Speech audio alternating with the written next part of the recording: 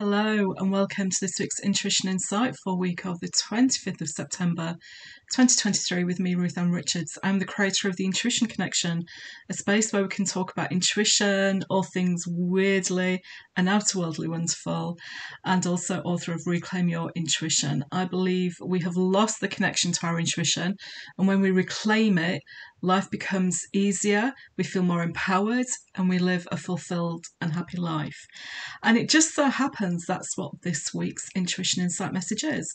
So it's a message from my own Oracle, Reclaim Claim your Intuition.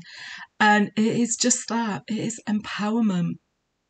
So just take a moment take a look at the image and what stands out. And it's the heart, right? It's about the heart center. And it's from the inner voice um, section of the Oracle, which is about being within and going within. And to be heart centered and to feel things from our heart, to make decisions from our heart, to know what our heart desires, we do have to go within and, and give this a little rest, let the mind go for a tea break, and just deep breath and feel and look within it's what it is that we want from our heart center. Because there is this cultural phenomenon, societal phenomenon, that everything is about mindset. To improve ourselves, to be better at things, to grow, to learn, to develop, to get over things, to move on from things. It has to come from the mind. And that's completely wrong.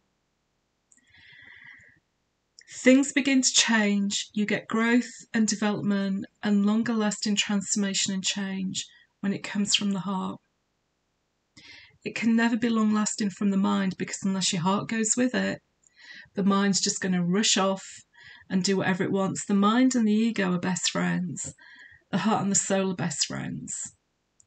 And when we listen to our heart, that's where we feel our empowerment. That's when we go within, that's where we feel empowered. And let me tell you what empowerment means to me. Empowerment to me is no second guessing, no imposter, no doubt, it's a quiet confidence that I know what I need to do. I know the decision I need to make. I know what to say. I know the way to go. And all that comes from being intuitive. All that comes from my intuition.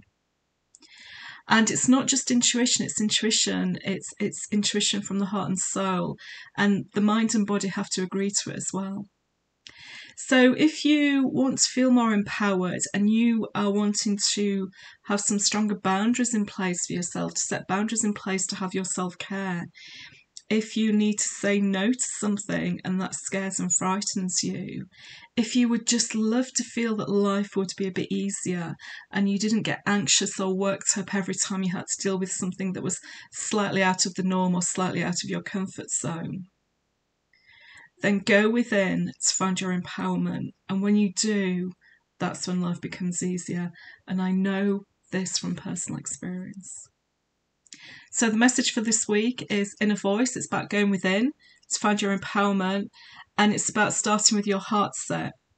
Don't start with changing your mind and working on your mindset. Start with what's in the heart, and everything will follow from there. Wishing you a wonderful week. Take care, everyone. Bye.